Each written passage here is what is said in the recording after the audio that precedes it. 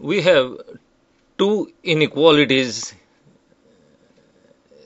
that form the system and we are asked to graph these uh, or solve these. Whenever the inequalities are given, you cannot directly start inputting the way equations can be input. Because by default the calculator is set up for y equal to kind of equation. But now there is no equal to there is an inequality. So you have to uh, simplify this. And so what it says here is since only one variable can be input on the right hand side of an equation you have to transpose the other variable that means normally x to the right hand side.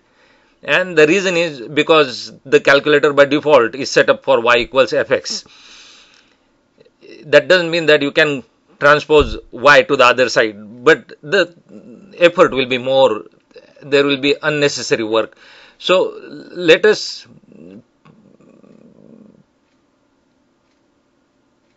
simplify this and get ready for input. So we'll do the simplification here. So our first uh, inequality was x minus 2y less than 6 that means I need y on the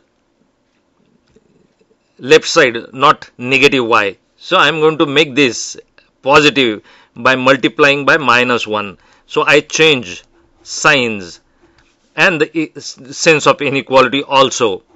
So I get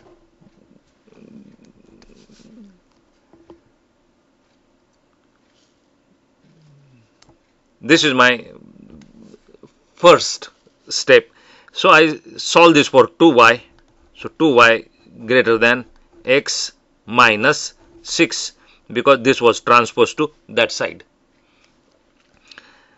That means y greater than 1 half x minus 6 so this is actually my first inequality although they gave this one for the second one you don't have to do anything because it's already ready for input. This this we don't need to do anything. So i'm simply going to write that as y minus 3 over 2 x plus 5 this is this is my second one now we can input 1 and 2 so we go back to the calculator. Now you must note as I said by default the calculator is set up for y equals. So you need to change this for our first inequality which says that y is greater than. So we need to get sense of inequality in that direction. So how do we do that? So we go and look here for the type. That means what type of equation you have. So f3 will give that and you have these options.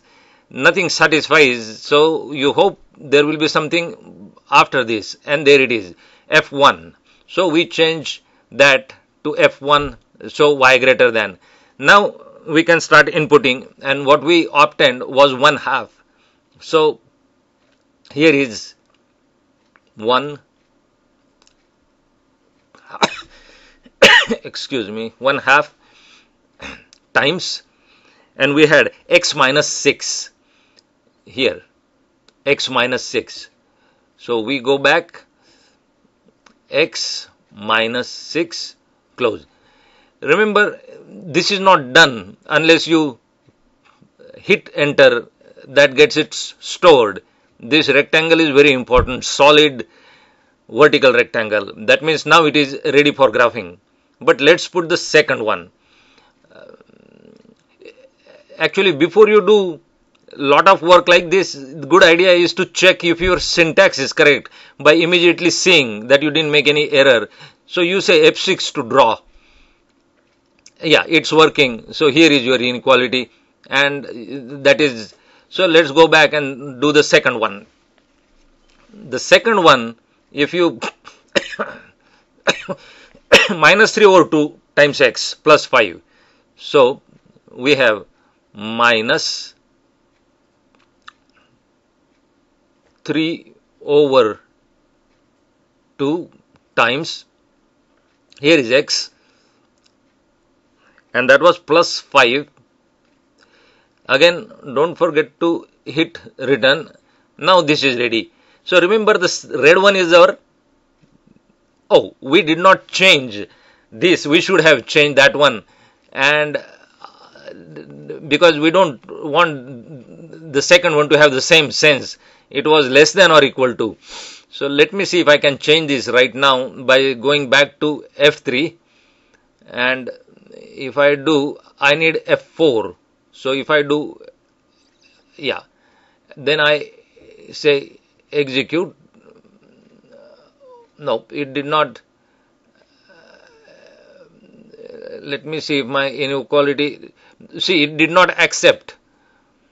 It changed the type for the next one.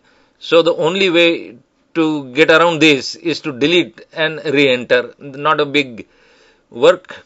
Uh, so now it is ready. So we should say minus 3 over 2 times x plus 5 now this one is selected correct sense. This one is selected and in correct sense. So this kind of check is required uh, to avoid errors. So now you can plot. And that's uh, our final plot. So this pretty much if you want to see which one is which you can say trace and the equation shows up. So the blue one is here. Then you do that again and uh, so you can go to the second equation by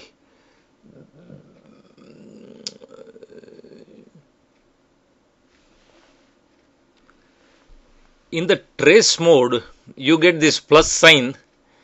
And if you press trace again you will get the point marked which is hollow. That means this point is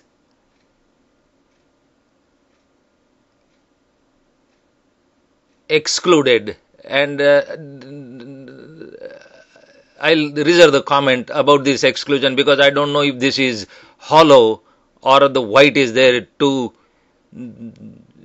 differentiate with the usual red dot because there are so many colors here. But let's go back and see the other equation that was so this is your first equation. So if you move this plus sign that is tracing to the other intercept like this then you see the graph. When you say execute that point appears there. And when you say F1 again the point will be seen there it is. This is solid. That means this is now known that this is excluded and this is included. So and certainly the second inequality had the uh, less than or equal to let, let's go back to the equation to see that here it is. Here it was excluded and that that was the reason. So this way you can plot the inequalities and uh, get the solutions. This is uh, the end of this clip